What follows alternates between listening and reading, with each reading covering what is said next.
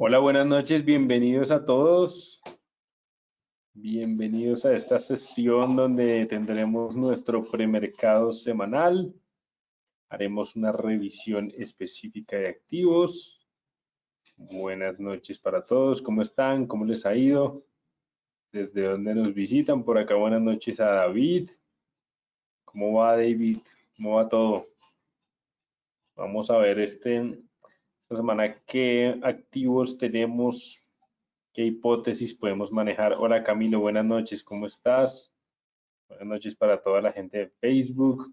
Por acá Judith, que hace rato no se conectaba, volviendo. Qué bien. Judith, me gusta mucho tenerte acá. Qué alegría. Eh, bien, para la gente que nos... ¿quiénes, nos están visitando desde México? Les tengo una noticia para todos los traders de México y es que mm, el 10 de, ¿qué? El 11 de marzo, perdón, el 11 de marzo tendremos una conferencia donde va a participar TICMIL en alianza con Rankia en Ciudad de México y estaremos eh, dando una charla muy interesante sobre los mercados financieros. Van a ir muchos brokers, muchos expertos.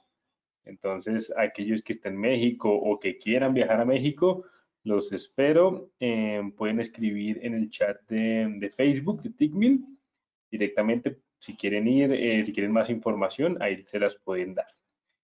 Un saludo acá a Diego Gabriel. ¿Cómo estás desde Arequipa, Perú? ¿Cómo les va? ¿Qué tal todo? Bien, la semana pasada eh, tuvimos una semana, digámoslo, muy movida. Finalmente los días jueves y viernes hubo bastante movimiento, ya lo vamos a revisar. Un saludo por acá para Brainer. ¿Cómo va? ¿Cómo vas, Brainer? ¿Cómo te ha ido? ¿Qué tal todo? Eh, bien, entonces, mientras va llegando la demás gente, vamos a leer, como es costumbre, el aviso legal y de riesgo y nos sumergimos en este apasionante mundo de los mercados financieros. Vamos a ver qué oportunidades hay. Les soy muy sincero, yo hasta ahora estoy abriendo mi pantalla, entonces no he hecho el premercado, lo voy a hacer con ustedes para que sea muy real, para que sea muy específico, ¿vale? Y recuerden que operar con contratos por diferencias, CFD y Forex, que es lo que ofrece eh, TickMill, es muy especulativo y de alto riesgo y no es adecuado para todos los miembros del público en general. Y la información presentada no es una recomendación de inversión ni tampoco es asesoramiento financiero, simplemente se hace con fines educativos para que ustedes eh, tengan herramientas que les permitan abordar de una manera mucho más eh, llamémoslo, eficiente los mercados. Brainer que viene desde Guatemala. ¿Qué tal todo, Brainer? Qué bien. ¿Cómo va todo por allá? ¿Qué horas son en Guatemala? Bien, entonces, dicho esto, vamos directamente a ver la plataforma de Tickmill en MetaTrader 4. Vamos a empezar como es costumbre con las divisas, euro dólar. Y como estamos empezando mes, hoy estamos a 2 de febrero, vamos a hacer el, el premercado desde el marco mensual, ¿vale? Recuerden que siempre lo hacemos desde el semanal cuando estamos empezando semana, pero como estamos empezando mes, ya vamos a irnos al marco específico.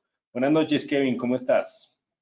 Bien, entonces, ¿qué tenemos en el marco mensual del euro dólar? A ver, vamos a mirar por acá, voy a dejar esto con un zoom Ok, listo.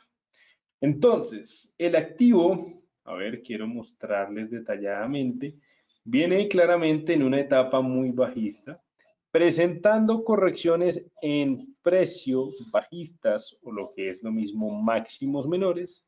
Aquí podemos identificar el último que está presentando, bueno, el último no. El, digamos que en tiempo, en el tiempo, este sería entonces el segundo, tercer máximo menor que podría seguir teniendo una continuación bajista inicialmente hasta esta zona de soporte que ya miramos exactamente qué zona es. Y si la vulnera pues tendríamos un euro eh, casi que en mínimos históricos. 6.30 pm, ah ok, una hora antes, qué bien, acá son las 7.30 en Colombia. Bien, entonces, el euro en la tendencia mensual sigue siendo bajista, es decir, esperaríamos una caída en todo el mes de febrero. Ese máximo menor finalmente el desarrollo tendría que formar un mínimo menor o lo que también se considera un LL y para que se dé ese LL o, lower low, mínimo menor, tendría que romper esta zona que ya mismo nos vamos a ver qué zona en específico y es la zona del 106650, ¿listo? Esa es la zona específica que tendría que vulnerar para buscar el, ah, perdón, el 109683 para buscar el 1.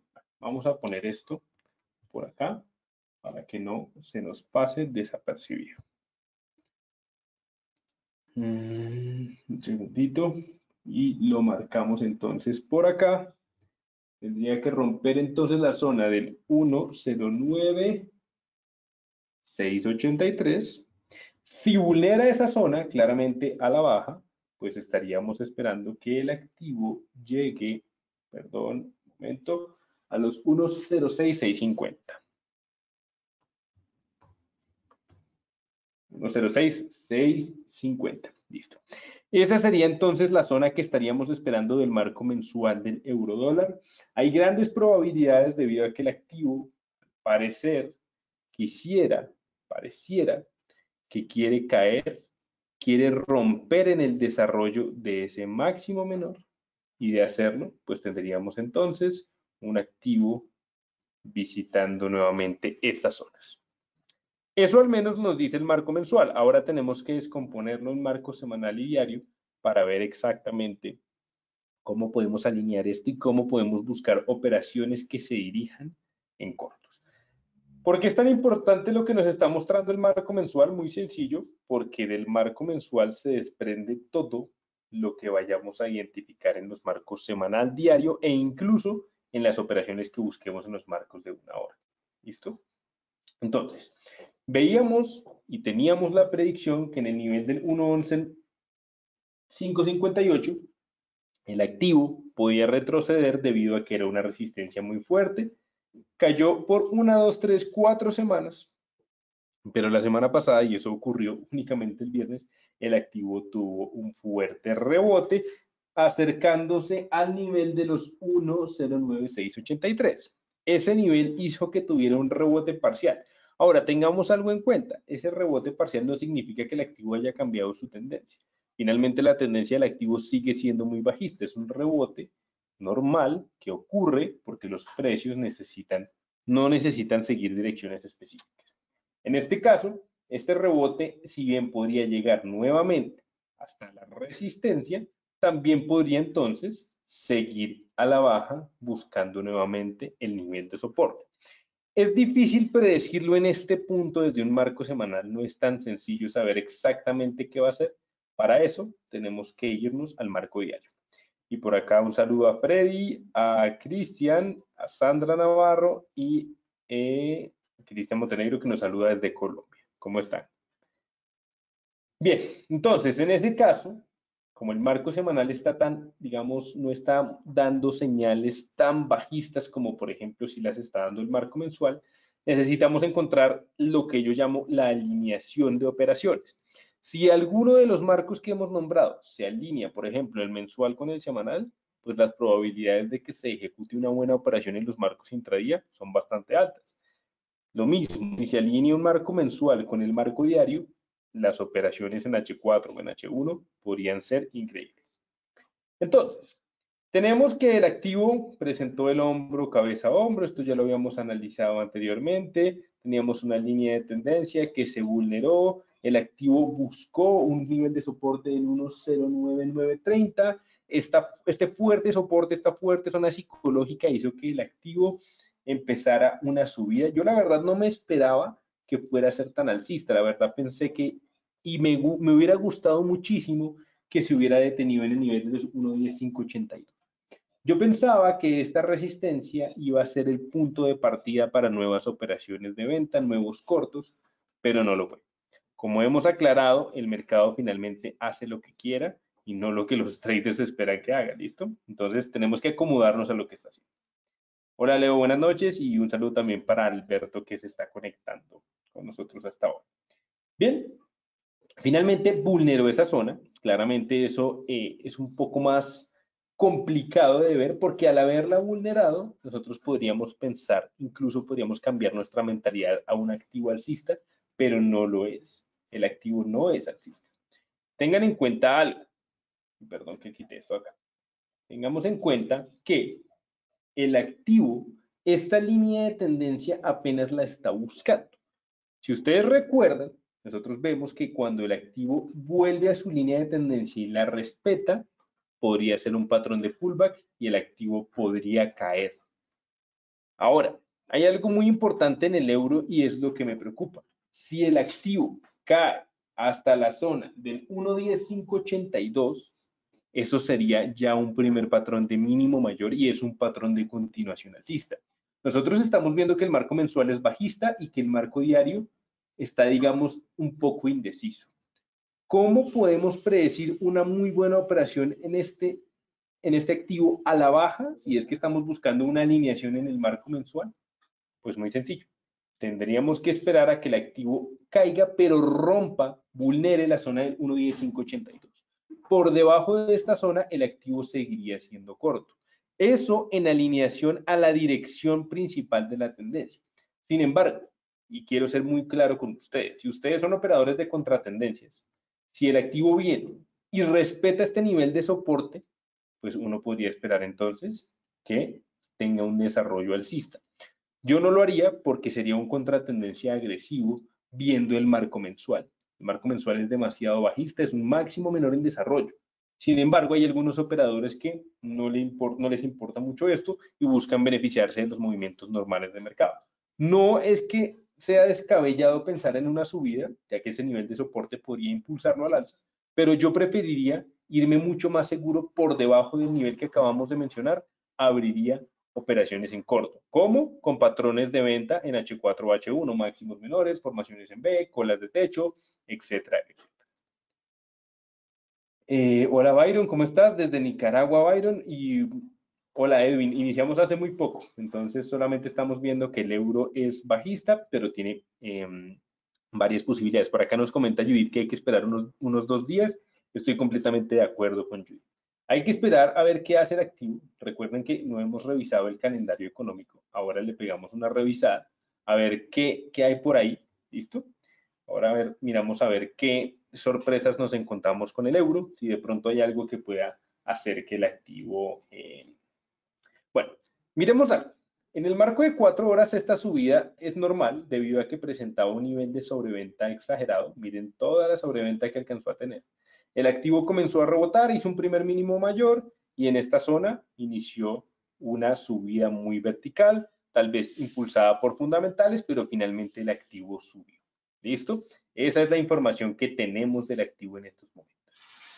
Hasta el momento, pensar en cortos ahorita mismo no debe ser la, idea. Claro, uno puede ver tal vez un patrón de shakeout, que sería este que tenemos acá.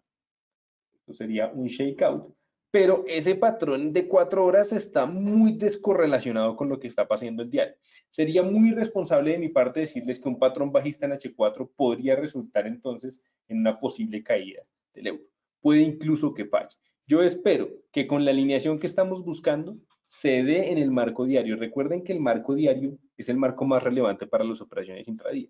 Entonces, hasta que el activo no venga a estos niveles o presente una debilidad que me permita identificar una nueva caída, yo no lo operaría en corto. Y si lo opero al alza, tendría mucho cuidado porque la tendencia finalmente es muy bajista. Importante de todo esto es que si el activo, el euro, llegase a caer por debajo de la zona que anteriormente mencionamos, pues estaríamos buscando operaciones sin sobreventa y con mucha más proyección bajista. En, conclusión, el euro esta semana puede que se dé, no estoy completamente seguro, hay que esperarlo, como nos decía Judith, unos dos días más o menos, ¿sí? Pronto el lunes o de pronto el martes podríamos tener ya un patrón bajista o por el contrario uno alcista que los operadores de contratendencia pues se podrían beneficiar. Sigamos con la libra dólar. Bien, la libra en el marco mensual Miren qué pasa con la libra, que es lo que me preocupa.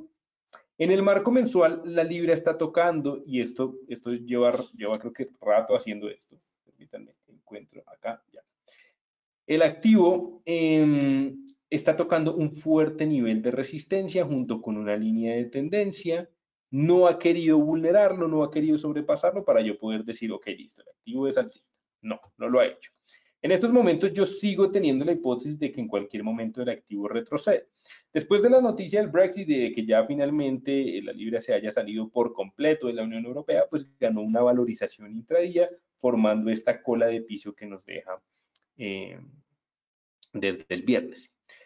En estos momentos, ¿qué podríamos esperar para la libra? En el mensual, técnicamente hablando, está muy bajista, pero podría en cualquier momento debido a temas económicos y políticos, vulnerar esta zona que ya revisamos qué zona es y empezar a subir nuevamente. Ahora, todo esto depende del marco semanal. Si nosotros lo miramos en semanal, tenemos un patrón de continuación muy alcista que sería un mínimo mayor y la formación de ese mínimo mayor pues podría estar desencadenando al menos en una subida hasta la línea de tendencia principal, que sería la que dibujamos en el marco mensual. Ahora bien, esta fuerte resistencia que sería a nivel de los 1.32.611 podría ser que en ese intento de subida el activo entonces se quede colgado e inmediatamente empiece un retroceso hasta la zona del 1.25.983. Al igual que el euro, me parece que hay que esperar. Es muy anticipado pensar tanto en compras como en ventas para el activo. Yo esperaría qué pasa en los marcos intradía. Por acá nos pregunta Camilo. Eh, ¿Por qué hay dos líneas de tendencia en la libra? Listo, ya te muestro exactamente por qué, Camilo. Letra C, esta viene del mensual, entonces como yo guardo la plantilla, se me muestra en el mensual y letra C una en el semanal para encontrar el nivel exacto de ruptura. ¿Listo? La principal sería la del mensual y esta sería la línea de tendencia secundaria. Bien, todo depende entonces de lo que nos muestre el marco diario y aquí es donde yo ya me cambio de bando y me voy un poco más a, buscar lo que está haciendo en los marcos de tiempo semanal. La ruptura del nivel de los 1.31-351, consecuencia de los fundamentales y demás temas económicos, hizo que se generara una vela de rango. Si el activo llegase a caer formando un mínimo mayor, respetando esa zona que anteriormente fue resistencia y por cambio de papeles ahora es un soporte en nivel de los 1.31-351, yo me iría a buscar una operación en compra buscando el 1.32-611. Esa sería mi hipótesis para la libre. Ahora, ¿qué hay que esperar? Que el mínimo mayor se dé con una formación adecuada. Si cae con una sola vela, no me gustaría por la verticalidad, me gustaría que se forme con unas dos o al menos tres velas. Eso haría que el desarrollo sea mucho más favorable. Ahora bien, por debajo del 1.31-351 podríamos alinearlos a la tendencia mensual y buscar cortos. Aquí funcionan las hipótesis y las contrahipótesis, ¿vale? Por acá nos dice Sandra, ¿se podría tomar como doble piso y posible cambio de tendencia? Correcto, es, correcto, Sandra. Esto podría estar ocurriendo. Pero necesitamos una confirmación. Miren que si nosotros nos vamos a los marcos intradía, probablemente, bueno, en H4 no, pero en H1 tenemos demasiada sobrecompra y verticalidad. A mí no me gusta operar esto, hay gente que le gusta, a mí no, a mí no me veo un activo que está en esta verticalidad y necesito esperar. La paciencia del trader es finalmente lo que premia. Si el activo hace el mínimo mayor, necesariamente va a perder toda la sobrecompra y me va a dar una, digamos, una tranquilidad psicológica y técnica mucho mejor para, para operar el activo. Así que estos activos, tanto el euro como la libra, están, se pueden operar. En el euro tenemos una hipótesis alcista para los contratendencia y bajista para los que seguimos en la tendencia, pero en la libra ambas hipótesis son válidas porque finalmente el marco semanal está alineado dependiendo lo que haga el diario.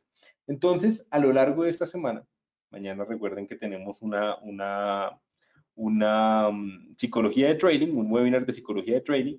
El martes revisamos fundamentales. Si mañana nos queda algo de tiempo, miramos a ver si de pronto tuvo un buen movimiento el mercado. Y antes de continuar, voy a mirar de una vez lo primero que uno debería hacer, incluso antes de empezar a hacer el premercado, que es el calendario económico. Y miramos qué tenemos para esta semana, a ver ¿Qué probabilidades hay de que el euro y la libra hasta el momento tengan unos buenos movimientos? Bien, no sé por qué está tardando esto en iniciar, pero bueno. Mientras inicia, vámonos entonces a ver el australiano, mientras eso carga un poco. Y bueno, el australiano, eh, nada, esto está terrible. A ver, miremos un poco qué está sucediendo. Y voy a poner acá los niveles para poder identificar.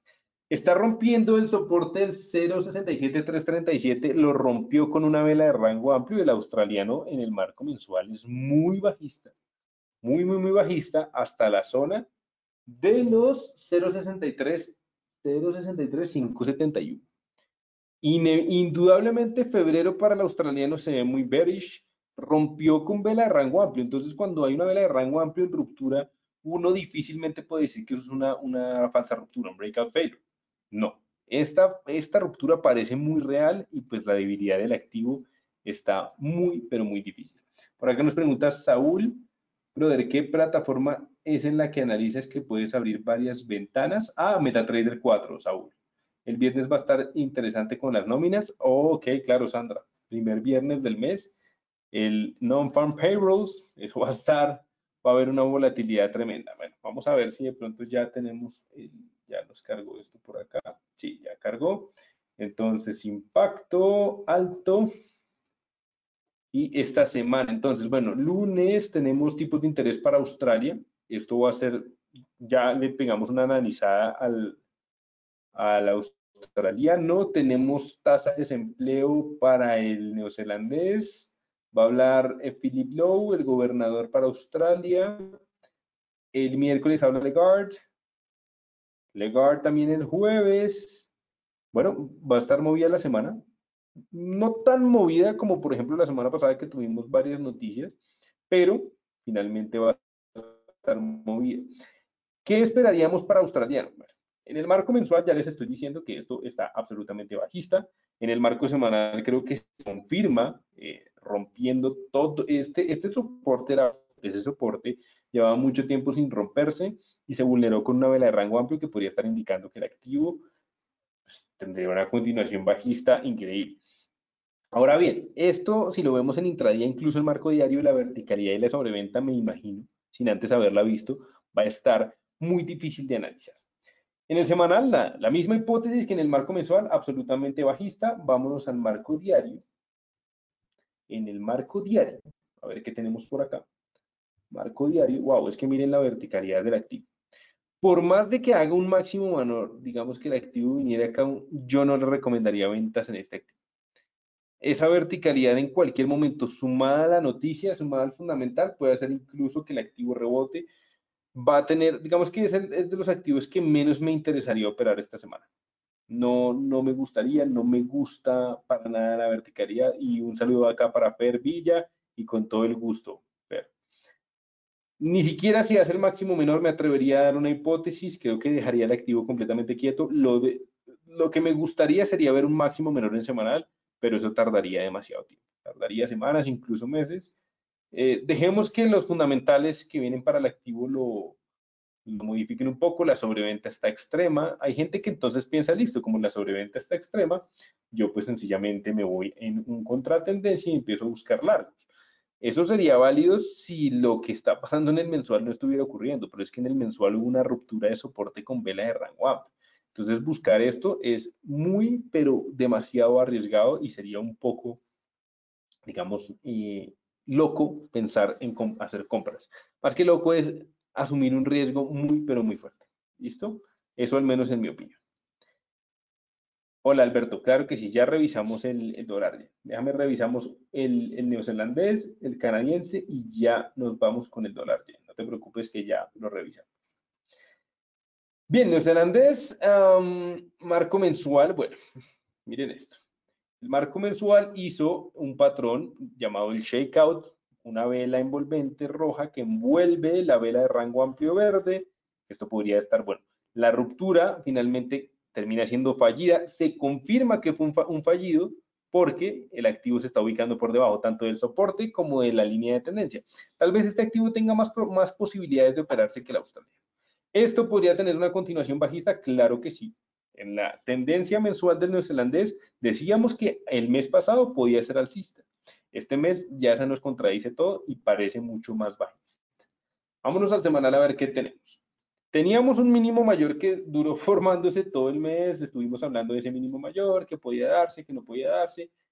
Por debajo de este nivel de soporte estoy viendo al activo caer una posible caída hasta el nivel de los 0.62485. Esa es mi hipótesis para el neozelandés.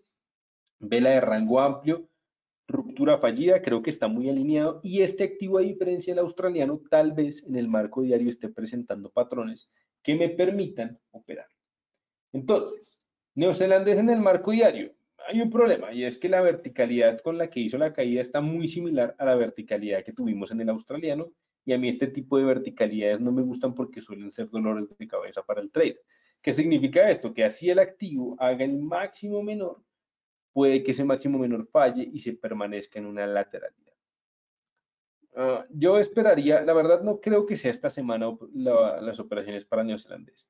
Lo mejor sería que el activo corrija lo que más pueda en tiempo o en precio y la próxima semana nos dé patrones operativos. No, les soy muy sincero, esta semana no lo veo eh, para operar.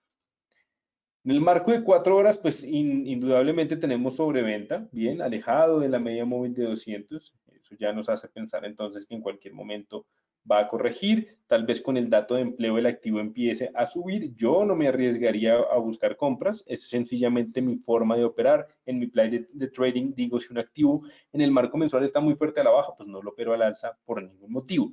Hago contratendencias a veces, pero no tan agresivos como sería este. Creo que este activo hay que esperarlo, no tiene mucho, no es muy necesario concentrarse mucho en este activo. Tal vez esta semana no sé si llega a ser algo importante, pues lo revisamos en los próximos días. Bien, vámonos a un activo que sí me gusta muchísimo, el dólar canadiense. Vuelve a ser alcista, a mí este activo eh, me, estaba, me estaba preocupando porque yo ya lo estaba viendo bajista, sin embargo ya cierra con un shakeout alcista, esto es una vela de rango amplio. En el shakeout del, de, que veíamos ahora era un shakeout bajista, este es un shakeout alcista, la vela verde envuelve la vela roja, y lo mismo, ahora corregimos esta línea de tendencia, es más, vamos a corregirla de una vez. Esta línea de tendencia ya tiene que ponerse acá, porque finalmente el activo rebotó en ella. Y eso es una señal de continuación alcista muy fuerte. Finalmente estoy viendo que el dólar contra el canadiense este mes podría estar llegando a esta fuerte resistencia, a sus máximos del 1.36308. Así que muy atentos, me gusta mucho un activo muy alineado. Tal vez en febrero sea el mes para operar el dólar contra el dólar canadiense. ¿Cómo lo descomponemos entonces? En el marco semanal, un rebote que se dio perfecto en esa línea de tendencia, junto con el nivel de soporte, después de un movimiento extendido en velas, un fuerte sell-off, aparecieron los compradores. Muy sencillo, el activo sigue teniendo espacio de subida hasta el nivel del 1.34-224 en el corto y mediano plazo. ¿Cómo lo operamos? Ya les voy a decir el marco diario, entonces yo no sé por qué a veces yo me salgo de acá, a veces, no sé, es como que me desconcentro y me gusta cerrar los perfiles y buscarlos sabiendo que desde la misma plantilla puedo cambiarlo. ¿Vale? Entonces, aquí ¿qué tenemos? El activo les decía la semana pasada que esto era un shakeout alcista. No me acuerdo, alguien me estaba diciendo que era bajista. No, el canadiense es muy, muy bullish. Y este patrón lo demostraba. Esto es un patrón muy alcista. Yo aquí tengo una hipótesis muy interesante y es que el activo venga, haga el mínimo mayor junto con un throwback, es decir, caiga y rebote en el nivel del 1.31.904. Si cae hasta este nivel, ahora, ojo, mucho cuidado, tiene que caer de manera pausada, de manera paulatina, no pueden ser una sola vela hasta acá, por la verticalidad alcista que presentó. Si el activo cae de manera ordenada y hace el mínimo mayor, entonces yo estaría pensando que fácilmente podría tener una escalonada hasta el nivel del 1.33089. Muy alcista el canadiense, sin embargo, tengan en cuenta algo, si van a operarlo en estos momentos ya hay sobrecompra, ya está extendido en pivots, entonces no es lo más recomendable, hay que esperar un poco. Eh, ¿Cuánto es un poco? No sé, yo creería que este activo va a estar esta semana, no sé si de pronto el miércoles, ¿vale? Master, ¿usted cree que lo mejor es tener dos o tres activos bien definidos para operar siempre o lo mejor es ir buscando oportunidades de señal de nuestros sistemas? Yo tengo, pues, eh, mira, Diego, yo manejo 20 activos. En el premercado casi siempre escogemos unos, una buena semana, unos 7 u 8 activos. Una semana no tan buena, unos 2 o 3. De los que yo escojo, me concentro 100% en, bueno, no 100%, pero más o menos un 90% en ellos y el 10% restante lo dejo para otros, por ejemplo, como los que nombramos ahorita. El euro y la libra no es que me gusten demasiado, pero si llegan a hacer algo, no sé, un patrón bonito el miércoles y yo no lo sigo, pues me estaría perdiendo una gran oportunidad. Entonces, en ese caso, es todo depende del premercado. Si en el premercado escogiste cuatro activos, enfócate en ellos, trata de dedicarle muy poco tiempo a los otros, es decir, unos 10, máximo 15 minutos al día a los demás y el, resto de tu atención, concéntrala en los que encontraste positivo. Conclusión para el dólar contra el canadiense, un mínimo mayor en diario es absolutamente bullish, lo compraría sin duda alguna, entonces me gusta bastante. Y por acá nos pedían el yen, listo. Ya nos vamos a analizar el yen igual desde la perspectiva mensual. Entonces, en la perspectiva mensual, el activo estaba tocando una línea de tendencia, pareciera, bueno, es bajista, pareciera que quiere tocar el nivel del soporte, que quiere romperlo, perdón, y seguir cayendo. Ahora, no está confirmado en este soporte, podría dirigirse al alza. Esto no está confirmado, es simplemente una hipótesis. Finalmente lo digo porque la tendencia es más probable que continúe a que se gire. Vamos al semanal a ver qué nos está diciendo el marco semanal, a ver si está alineado con nuestra predicción. El activo, si ustedes recuerdan, yo les dije la semana pasada, bueno, más o menos en enero, que el activo me parecía muy bullish por encima del 109.836, finalmente nunca lo rompió, la ruptura ahora es fallida, vamos a acomodar de una vez esta línea de tendencia, ya esta línea de tendencia, hay que como, esto que pasó, momento por favor, acomodamos esta línea de tendencia, listo, más o menos acá, y ya acomodando esta línea de tendencia, em, ya el activo pues vuelve nuevamente a su tendencia bajista. Hay que buscar entonces cortos por debajo de 108 o 134, por debajo de este nivel, tendríamos un yen probablemente en el 105, 547, lo estoy viendo bajista. Esto me imagino se debe en gran, en gran medida a la caída que están sufriendo los índices. El dólar contra el yen tiene una correlación muy fuerte con el índice de la bolsa de, de Tokio, el Nikkei 225. ¿Cómo podemos buscar operaciones a la baja? Pues muy sencillo, abrimos el marco diario. El marco diario está haciendo velas de rango amplio bajistas, eh, lo que nos podría estar indicando entonces que si el activo presentase un máximo menor, ojalá la corrección diera en el nivel de los 108,927. Si llegara hasta esta zona, pues tendríamos entonces un, activo probablemente cayendo hasta el nivel de los 108,134. Cualquier máximo menor pegando o no pegando en resistencia es un patrón bajista en continuación de la tendencia, así que mi hipótesis para yen es bajista. Byron, ¿cuál es tu activo favorito para esta semana, Byron, o en general? Si es para esta semana, hasta ahora no lo he encontrado. Muy bien, muchas gracias. Vale, Diego. Eh, claro que sí, Billy. Después de este yen nos vamos para el, para el franco. Eh, y por acá, Freddy, el, el petróleo y el oro, claro que sí, ya lo revisamos. Mani, es el mejor solo tener dos activos para que lo sigas de una mejor paciencia. Vale, todos los comentarios son completamente válidos. Listo, entonces, miremos H4, sí, sobreventa. Entonces, indudablemente hay que esperar el máximo menor. Lo veo bajista, esa es mi opinión para el Ahora, no hemos encontrado, generalmente los domingos encontramos uno que otro activo que se puede dar eh, en la semana. En general, bueno, mi, activo favorito, Byron, es el Standard Poor's 500, aunque hace mucho no lo opero debido a la sobrecompra que tiene, pero lo fue por mucho tiempo, tal vez, y tal vez lo siga haciendo.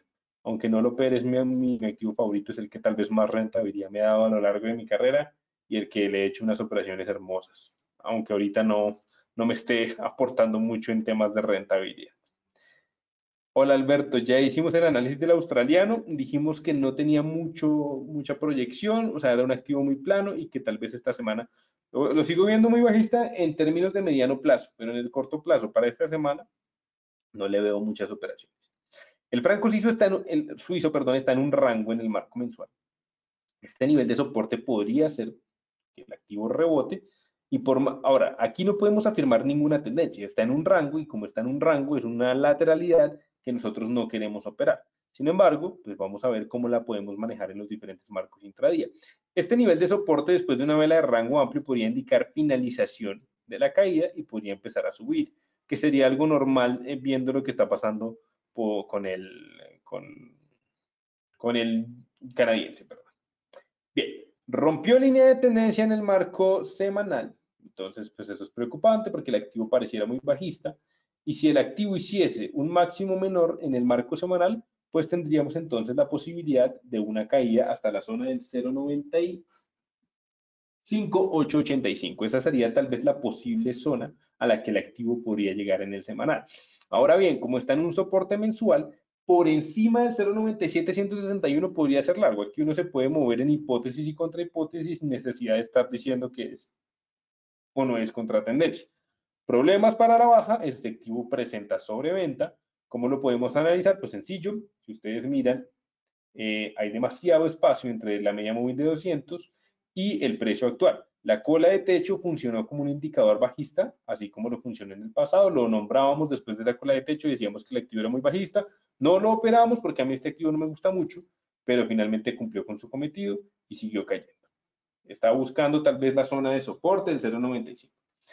Por encima del nivel del 0.67161 creo que podría rebotar, pero solamente por encima y eso no sé cuánto pueda tardar. Tal vez en el intradía esté sobrevendido, aunque hizo un patrón increíble. No sé por qué no lo operamos y hizo un muy buen patrón para el en H4. Eh, pero bueno. No, no buscaría más cortos, esperaría que rebotara en el marco diario para buscar largos. De lo contrario, no es que me guste mucho el franco suizo. ¿Listo?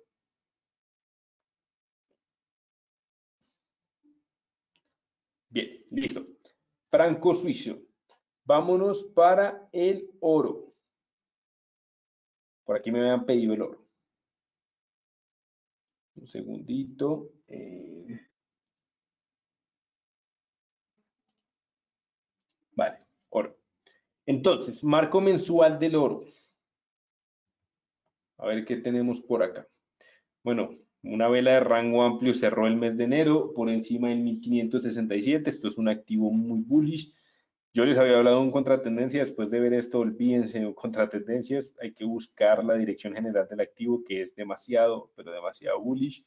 Eh, cuidado con los contratendencias, no, no me gustaría, la verdad, operarlo a la baja. Este es un activo que está muy alcista, este cierre me muestra demasiado, así que vamos a ver qué posibilidades alcista tenemos. Bueno, marco semanal, pues lleva bastantes semanas, ese mínimo mayor se desarrolló muy bien, se desarrolló perfecto para un operador que lo haya cogido en esta zona estará muy feliz. ¿Qué esperamos ahora? Pues la mejor manera de operar el oro sería esperar otro mínimo mayor. Otro mínimo mayor, tal vez en esta zona de soporte, si lo hace por debajo, pues por encima del 1567 con 93, el oro es muy bullish, ¿vale? Es muy largo, eh, bastante, pero bastante largo. Me parece que esto podría llegar incluso a la zona de los 1700. Podría buscar nuevos niveles máximos ¿Cómo lo podemos operar? Pues en el marco diario finalmente el contratendencia nunca se dio porque rompió el nivel de los 1567, empezó a escalonarse. Me preocupa un poco el semanal para plantear una hipótesis, pero algo un poco arriesgado sería esperar un nuevo retroceso y en el soporte en el 1567 buscar inmediatamente un largo.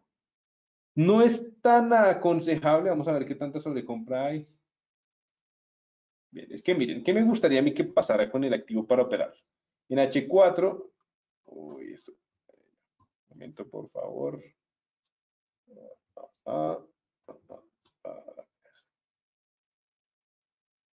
¿Qué le pasó a esto? Perdón. Ya. Que va al revés ahora. Listo. Entonces, en esta zona, a mí me gustaría que el activo empiece a hacer lo que denominamos una, eh, un reseteo. Está haciendo mínimos mayores, quiero que empiece a hacer máximos menores. ¿Vale? Y en el reconteo de los pivots, cuando estemos recontando y aparezca un mínimo mayor, ahí podríamos operar. Pero eso va a tardar, ¿listo? Va a tardar, entonces eh, debemos esperar un poco. Lo sigo viendo, o sea, mi hipótesis para el oro es muy, muy bullish, ¿listo? Eh, demasiado bullish. Entonces, esperemos a ver qué sucede en el transcurso de la semana y buscamos cómo podríamos operarlo de la mejor manera posible. Plata, eh, y ahora revisamos el petróleo que por ahí me lo pidieron. Plata, vamos a ver qué tenemos en la silver. Silver. Una gran P. Miren, este activo cuando rompa esta resistencia, cuando decida vulnerarla va a ser un activo igual que el oro muy, muy bullish. ¿Listo? Esto es formación en pena que se rompe, pero cuando se rompa, créanme que tendremos un gran activo y, habría que perseguir muchos largos. Me gusta incluso más que el oro la plata. La plata está en una muy buena, digámoslo, formación alcista en el marco semanal. Esta P después de cola de piso en el, mensu, en el semanal me parece increíble. Eh, esto en cualquier momento eh, despega al alza, ¿listo? Despega de manera muy, muy bullish y tiene bastante espacio de continuación, así que hay que estar muy pendientes y no descartar la plata para esta, para esta semana. Miremos en el diario. Miren esto, me gusta mucho, me gusta la plata. Tuvo una recuperación después, después de, de esa fuerte caída que tuvo, bien. La caída se dio pues en esta zona con una vela de rango amplio, empezó a rebotar por encima de los 17. Sí, este activo me parece muy largo, incluso creo que va a ser el activo de la semana, la plata.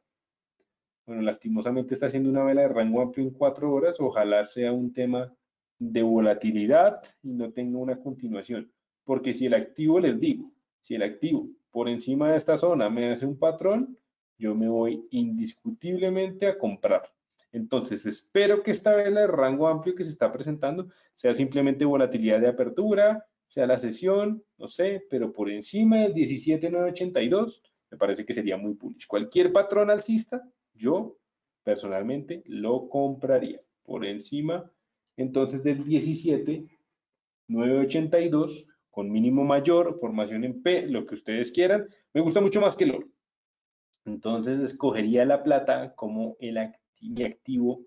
Hasta el momento es el activo de la semana, siempre y cuando eh, pues se ubique por encima de esa zona. Petróleo, para los que me lo estaban solicitando. Pues bien, a ver, ¿qué tenemos en el petróleo? ¿Y esto qué le pasó ahora? Segundito, que es que me está como fallando esto. Ah, ya, es que ya sé por qué estaba fallando.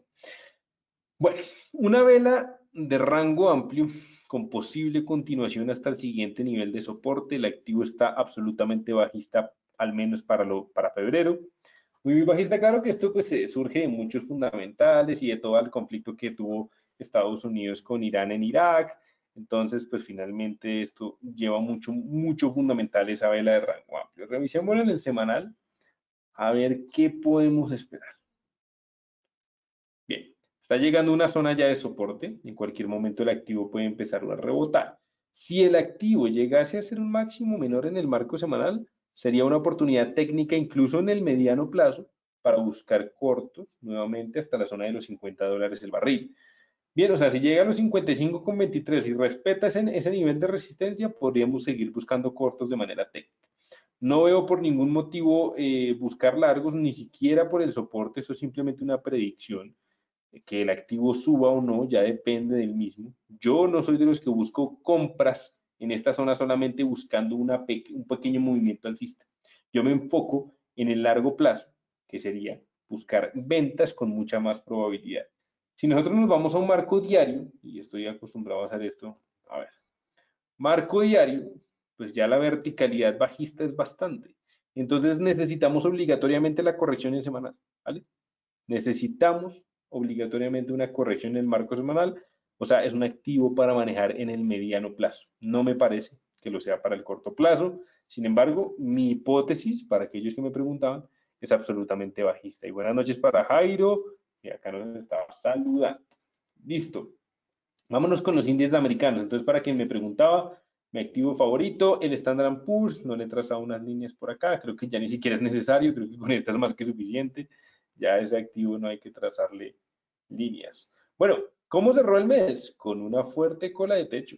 Esta cola de techo podría estarme marcando la finalización. Ahora, miren que la cola de techo por sí sola no nos dice nada, pero ¿qué nos dice algo? Movimiento extendido en velas, fuerte verticalidad, sobre compra y cola de techo, entonces ya yo puedo empezar a pensar que el activo va a buscar retroceder hasta su nivel de soporte. Esto sigue siendo muy peligroso, pero ya tenemos señales al menos que nos están avalando o confirmando que ya los largos, las compras en el Standard Poor's no van a ser lo más recomendable, al menos para el mes de febrero. Vamos a verificar esto en el marco semanal en el semanal que tenemos, A ver, el activo, bueno, hasta el momento sigue siendo bullish porque esto es un patrón alcista, eso es un mínimo mayor, listo. En ningún momento está siendo un patrón bajista. Eh, finalmente esto podría tener un despegue, entonces el semanal no está alineado con lo que me está mostrando el mensual. Esto me estaría indicando que en cualquier momento el activo empieza una subida. Todo depende entonces del marco diario. que tenemos en diario? Vela de rango amplio bajista. Aquí la cosa es la siguiente, y ya eh, lo identifiqué rápido. Si el activo viene, cae y respeta esta línea de tendencia, la respeta y dura ahí, yo buscaría nuevamente largos y, e ignoraría por completo la cola de techo que se presentó en el marco mensual. Pero tendría que venir a buscar esta línea de tendencia para que en conformidad con lo que nos dice Dow, finalice la corrección bajista y empiece nuevamente su tendencia. Contra hipótesis, si el activo viene y rompe la línea de tendencia y hace un patrón en el marco diario, ya entonces empezaría a pensar mucho en la línea, en, la cola de techo del marco mensual y empezaría a buscar un corto hasta la zona del 3023,54. No sé si se va a hallar esta semana, no lo sé, vamos a estar pendientes, pero tenemos una buena hipótesis e incluso una muy buena contrahipótesis. Una alineada con el marco semanal alcista y otra alineada con la cola de techo, una posible finalización de tendencia alcista. Todo depende de lo que haga el marco diario. Ni siquiera tenemos que irnos a ver H4 y H1. Solamente con lo que este me está mostrando el marco diario, yo ya tengo una gran predicción de lo que podríamos o deberíamos hacer según lo que haga el estándar Vamos a revisar si este es el mejor activo para operar de los americanos. Como les digo, es mi favorito, pero tal vez el Dow o el Nasdaq nos estén dando un mejor patrón. A ver, quiero verificar que la cola de techo sí también se vio acá en el Dow Jones. A ver esto. Me parece que puede rebotar este Dow Jones. Eh, permítanme le trazo acá la línea de tendencia. tal vez el Dow Jones la está buscando más rápido. Bien, espérenme porque el Dow Jones, el Dow Jones está muy cerca y están también en una zona de soporte. Marco diario, vela de rango amplio en soporte podría indicar finalización. Espérenme porque el Dow Jones creo que sí podía estar presentando, ya corrigió bastante bien. En el Dow Jones, podríamos esperar entonces lo siguiente. Podríamos esperar entonces. Está muy vertical, pero si el activo sigue subiendo un poco y posteriormente hace un mínimo mayor en una hora, creería yo, creería yo que sería alcista. Yo lo negociaría por encima de esta zona, buscaría una compra. ¿Vale? Me parece mejor que el Standard Poor's, me parece que el Standard Poor's debería llegar hasta esa línea de tendencia, pero el Dow Jones ya llegó, tuvo una caída mucho más fuerte. Me parece que el retroceso ya está finalizando. Vamos a verificarlo en el Nasdaq y también nos, nos comprobamos esto con los, con los europeos. A ver qué está pasando con el Nasdaq. Ah, no, el Nasdaq está más parecido al Standard Poor's y no finalizó el mensual con cola de techo. Así que la hipótesis en el, en el Dow Jones perdón, no está tan clara. Todo depende de lo que nos digan estos europeos. La correlación de los europeos va a ser finalmente la que nos diga qué hacer con estos activos. Bien, en el marco mensual, pues tocó una resistencia, empezó a retroceder. Esto alcanza a ser una cola de techo. Podría ser que el activo venga a visitar este nivel de soporte. Está muy alcista en el marco mensual, pero finalmente la fuerte resistencia cumplió con su cometido que fue hacerlo caer. Vamos a ver qué pasa en el semanal y qué podemos esperar. Bien, Vela de rango amplio después de visitar resistencia me está mostrando que el activo lo más probable es que tenga una continuación bajista hasta este nivel de soporte. Esa vela de rango amplio me está indicando continuación a la baja de lo que me está mostrando el marco semanal. Nada alcista aún. El marco diario. A ver, miramos esto que está haciendo. A ver, esto es un nivel de soporte. Miren cómo cada cola de piso hacía que el activo subiera una, dos, esta no podría ser la excepción, podría ser la tercera vez, en el nivel de los 12.990, el DAX. Pareciera que quiere rebotar, pero para, para estar bien seguros de que la operación se vaya a dar bien, necesitamos ver un mínimo mayor en el marco de cuatro horas. Entonces vamos a estar pendientes de este DAX porque según lo que haga el DAX en la europea mañana, podríamos tener entonces una, digamos, una visibilidad mucho mejor para los americanos. Si DAX rebota en cuatro horas en la europea, podemos buscar largos mañana en el Dow Jones. Si no lo hace, eh, por temas de correlación, no, pues no sería tan, tan inteligente hacerlo. CAC 40 finalizó con vela de rango amplio, igual. Voy a acomodar acá algunas zonas de resistencia y demás, que no había, como este activo no, casi nunca lo he operado porque en futuros tiene un problema y es que eh, se opera con una data de súper costosa, que es la de ICE. Nunca lo he operado, siempre operaba el Eurostox cuando quería operar este. Pero bueno, voy a acomodar este activo acá con soportes. No me gusta, no, no le veo absolutamente nada, no, no creo que merezca la atención. Me parece mucho mejor el DAX, el Eurostox, muy similar al DAX. Podría rebotar en cualquier momento, también tiene una fuerte zona de soporte, pero me quedo con el DAX. Siempre, entre, todos los europeos, incluyendo el FTSE, me quedo con el DAX, no hay nada acá. Bien, vámonos al IBEX, que es un índice que nosotros eh, hemos operado en los webinars, ¿sí? los que han estado conmigo saben que lo hemos operado.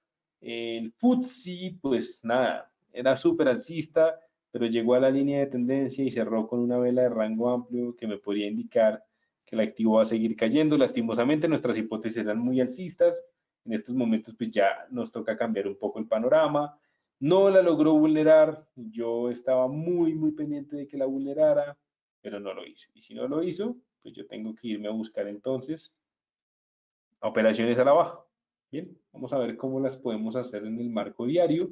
Si cerró con vela de rango amplio, rompiendo esta línea de tendencia, lastimosamente.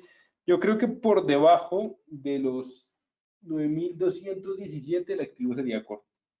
Debajo de esa zona me atrevería a pensar entonces en cortos para el activo. No, no es mi activo preferido. La verdad, ya en estos momentos, en febrero, no, no le voy a prestar tanta atención como si lo hicimos en diciembre y en enero.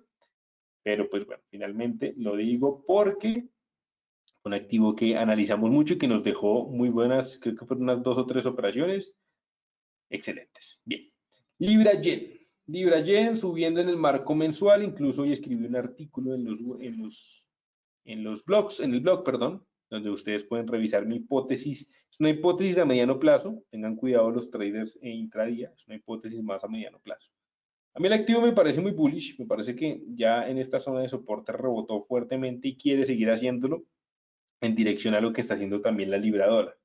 En el marco semanal es finalmente donde realmente me convence este activo. El marco semanal me parece a mí que esa formación que está teniendo de mínimo mayor acá en cualquier momento entonces arranca el alza hasta probablemente el nivel de los 152,953. Este mínimo mayor, esta información, cuando se desarrolle en el mediano plazo, va a tener una continuación increíble. ¿Cómo se opera? Yo ni siquiera en mediano plazo opero en el marco semanal. Lo haría directamente en el marco diario y les voy a resumir mi artículo. Entonces, mi artículo dice lo siguiente. Esto es una primera formación de máximo menor, ¿vale? Esto sería entonces un primer LH, primer LH un máximo menor. Ese LH, pues debería empezar a caer.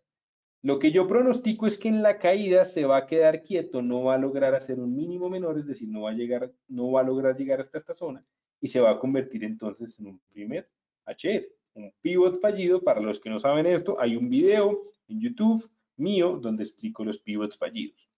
¿Vale? Si se convierte en un fallido, entonces podríamos esperar que este sea el patrón de compra. ¿Cómo se haría? Abrir una compra apenas falle, buscando inicialmente el nivel de los 142,271 y si lo vulnera, ya incluso me podría buscar una operación a largo plazo a los 146,375. Todo alineado con el, el posible desarrollo del mínimo mayor que se está presentando en el marco semanal. Si pasa esto que les estoy diciendo, me encantaría este activo, pero para el mediano plazo. Para el corto plazo, ¿cómo lo podemos hacer? Para los que no les gusta tal vez operar esto en mediano plazo. Ah, yo creo que por encima del 143,371, ¿sí? por encima de esta zona, podríamos buscar largos, siempre alineados a lo que esté ocurriendo con la libra. Dólar, ¿listo? Si la libra dólar la ven bajista, pues no operen libra yen alcista. Me gusta porque el yen, finalmente, bueno, no mentiras. Está complicada la cosa porque el dólar yen, el dólar, o sea, el yen se está valorizando contra el dólar, la libra está subiendo. Bueno, creo que sería más una operación a mediano plazo. aunque si hace un muy buen patrón en el intradía, créanme que en los siguientes webinars lo estaremos analizando, estaremos comentando y, claro que sí, estaremos buscando la mejor posibilidad operativa. En resumen, y mientras tanto, mientras tanto me pueden ir haciendo la sesión de preguntas en los cinco minutos que nos quedan y vamos a resumir qué activos, de qué activos podemos estar muy pendientes. Me parece que la libra, el canadiense, la plata, los índices americanos, entre ellos el mejor para mí, el Dow Jones, los índices europeos, el DAX 30, y de los pares menores, la libra yen, tenemos seis activos. Lastimosamente, los seis necesitan una condición específica para operarse, ¿vale? No es que ya estén dando los patrones, es decir, no podemos empezar a decir, ya están listos para operarse o, o tal vez les falta muy poco, ¿no? Les falta bastante. Sin embargo, vamos a estar en constante revisión. ¿Qué nos dejó este premercado? Seis activos financieros, Enfóquense mucho en ellos si es que la estrategia suya se alinea con la mía, eh, que ustedes saben, es la descomposición fractal a través de los múltiples marcos de tiempo.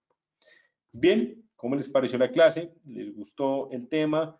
Eh, estuvieron, no sé, estuvimos alineados de acuerdo a su, premercado, a los premercados que ustedes realizan. Eh, si tienen preguntas, es el momento de hacerlas. Si quieren que analice un activo, con mucho gusto. Eh, recuerden que mañana a la misma hora tendremos una sesión de psicología del trading. Por acá Esteban me pregunta el euro neozelandés. Vale, espérame, lo abrimos por acá y con mucho gusto lo revisamos. Euro, euro neozelandés. Listo, entonces plantilla, le ponemos acá la plantilla. Y ya, bueno, uf, ya nomás en H1 estoy viendo la mega sobrecompra, ¿no? Bueno, en mensual, a ver, miramos esto que está pasando. Mensual no hay mucha información. Semanal una super vela de rango amplio que podría estar indicando continuación. En diario rompió, bueno, yo por lo que veo, si el activo hace un buen mínimo mayor y se alinea con el rebote del euro, un buen mínimo mayor me estaría mostrando entonces una continuación alcista, ¿vale? El activo, este rebote está extraordinario para buscar compras, pero con un buen patrón. Me gusta mucho, lastimosamente en estos momentos no se puede comprar porque la sobrecompra es terrible y la verticalidad es terrible. Y me alegra mucho que te haya gustado la clase, Esteban. Eh, Kat USD me pregunta, ¿lo ves para compra? Eh, Byron, lo veo compra, pero tiene que hacer un patrón en diario, tiene que retroceder un poco. Saúl, tengo un video de cómo configurar la plataforma. Mm, no, no de ese, pero es sencillo. Mira, tú pones, por ejemplo, yo simplemente pongo esto por acá, lo voy eh, poniendo pequeño, ¿sí? Eh, saco otro, entonces este estamos en euro neozelandés, lo pongo al lado, eh, bueno, aquí ya lo configuras con tus velas japonesas y demás. Este lo pongo, entonces este tiene que ser mensual, este tiene que ser semanal, este aquí en las esquinas lo vas modificando y lo vas poniendo, ¿listo? Aquí entonces iría mensual, semanal, allá iría el diario. Entonces lo mismo, lo pones, lo ajustas según tu, tu plantilla. Y a ver, en esta zona iría entonces, esto ya es daily, bueno, ahí no me está quedando tan bien, pero ahí tú lo vas acomodando y abajo a la izquierda va H4 y a la derecha H1 y tienes entonces los activos así, ¿vale? Guardas la plantilla y listo, te queda todo súper. Eh, Freddy Caballos, el australiano Freddy me parece que sigue siendo muy bajista, pero es peligroso operarlo a la baja en estos momentos. ¿Listo? Con mucho gusto, Esteban, un placer tenerte por acá. Y con mucho gusto, Diego. Eh, gracias por sus comentarios. Me alegra mucho eh, que disfruten de estas sesiones. Entonces nos vemos mañana en la sesión de eh, Psicología de Trading. Recuerden que vamos a estar leyendo em, el quinto capítulo del entrenador de trading. Es decir, que el diario es el marco más relevante entre día o te refieres a la tendencia. Sí, Ah, bueno, al decir eso me refiero a que para las operaciones intradía es el más importante, para alinear las operaciones intradía. Qué pena que aquí no me aparece la persona que preguntó. pero eh, para las operaciones intradía. ¿Listo? Entonces, nos vemos mañana. ¿Listo? Andrés por acá me pide el Russell. No tenemos el Russell acá en, la, en MetaTrader, pero está, debe estar muy alcista al igual que los demás, que los americanos. ¿Listo? Eh, muchas gracias Edwin y muchas gracias Mila. Que estén muy bien. Nos vemos mañana.